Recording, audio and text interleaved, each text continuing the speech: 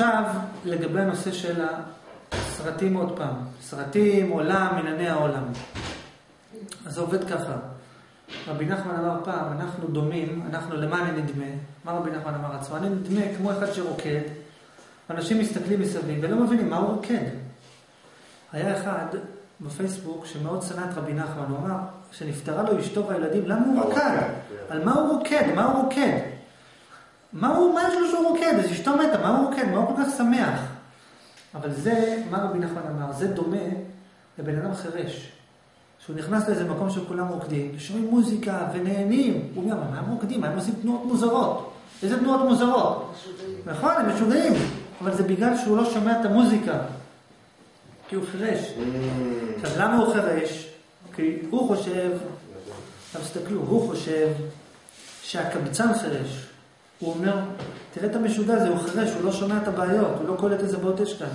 אבל הוא לא יודע שהוא החירש. הוא לא שומע מה הולך כאן, אתה לא מבין מה הולך כאן, איזה שכל יש כאן, איזה התחדשות, איזה תהליכים. אתה לא מבין. עכשיו, אותו דבר באנלוגיה, אפשר להגיד על עיוור. ונמשיך בחירש. זה כמו בסיפור על בת העם הקטנה, אריאל, סיפורה של אריאל. המלך אמר אסור לשמוע מוזיקה. מה זאת אומרת המלך אמר אסור לשמוע מוזיקה? בסיפור על הבן מלך ובן שפחה שהתחלפו, הצדיק, שהוא היה איש היער, מה זה נקרא איש היער? שכולם אמרו, זה איש יער, הוא מבודד, הוא לא מבין, הוא לא, הוא לא קשור אלינו, הוא ביער חי, זה, הוא לא אנושי. אז איש היער הזה היה בן מלך שחשב שהוא בן שפחה. אז איש היער הביא לו כלי, שכל פעם שהוא ישים אותו על כל בהמה, הבהמה תתחיל לנגן.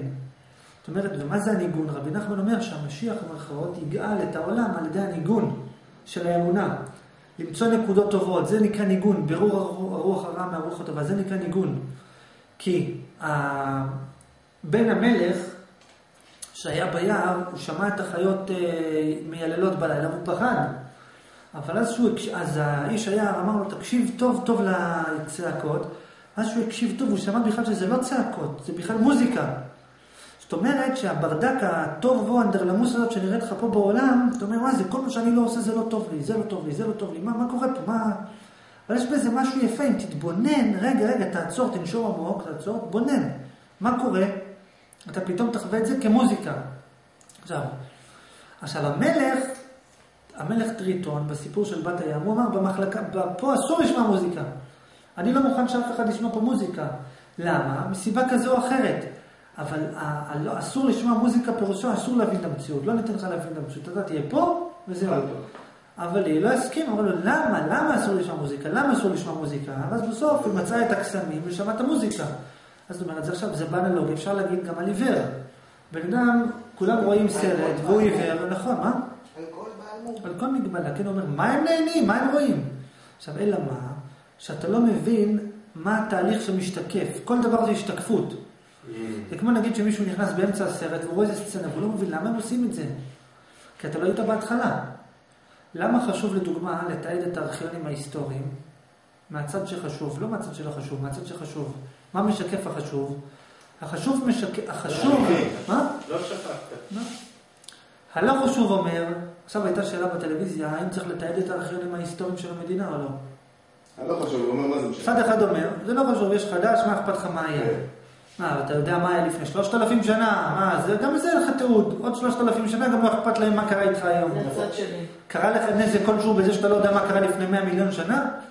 צד שני אומר, קרה לך נזק מאוד גדול מזה שאתה לא יודע מה קרה לפני מאה מיליון שנה. תאר לעצמך שהיה תיעוד היסטורי של כל מה שקרה מהמפץ הגדול עד היום.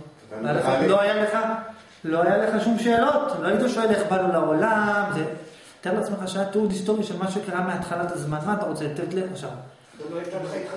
היות וזה לא מעט. מה זה אומר? מה זה אומר? נכון, מה זה אומר?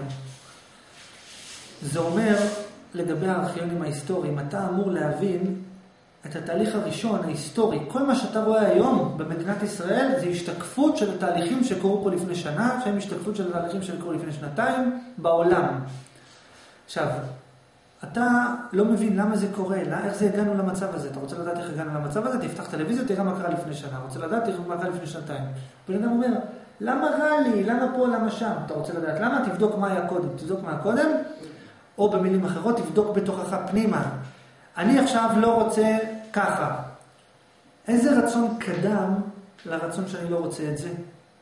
אני נגיד לא רוצה להיות לבד, לא רוצה להשתעמם. איזה רצון קדם לזה? מה היה לפני הלא רוצה להשתעמם? אה, לפני הלא רוצה להשתעמם היה פחד מבדידות.